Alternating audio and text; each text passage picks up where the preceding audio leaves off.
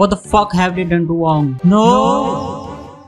She-Hulk episode 4 dropped today and I'm really impressed with this one. At this point, I don't have too many expectations from She-Hulk, so any mediocre story they throw at us, I'm enjoying it. Without signing a pact with the GOAT, let's get started.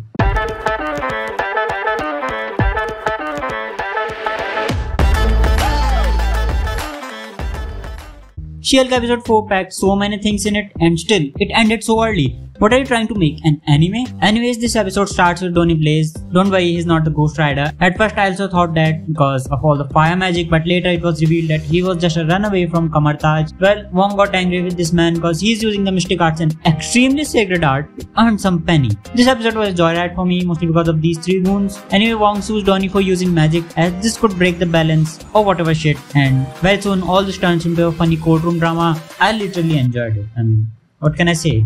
On the other hand, our She-Hulk is struggling with dating in her 30s and her very smart, not at all dumb friend suggests her to make a profile online as She-Hulk and her very intelligent Jennifer follows along. She gets a lot of matches and this also turns into a comedy dating situation as who'll pay the bill first, then ends up paying the bill. This my lord is not at all acceptable because this is miles away from reality because being a male society expects us to be a gentleman and pay the bill.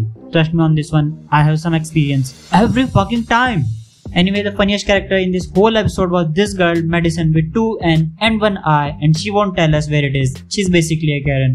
Well, now she's Wong's girlfriend. They both bonded up on a TV show which I've never heard of. Maybe that's why I'm single. She's drunk all the time. Or she's actually dumb. But she looks hot. I would date her. Okay, moving on. She-Hulk also looks great in this episode. They finally improved the CGI. In the final moments of the episode, the Donny Blaze guy brings some creatures into a world from another dimension and it was exciting funny to watch. Wong had to come help him for the universe. And then Wong uh, asked She-Hulk for help. I mean, come on. He's a sorcerer supreme. And can't he handle some little birds? How low does the show have to fall? I really enjoyed the show. I have no complaints about this one. I didn't make a video for the third episode. Well, I was out on a date. It didn't work out, don't worry. Anyway, have you watched the fourth episode? If yes, comment down what you liked and what you hated. And don't forget to subscribe.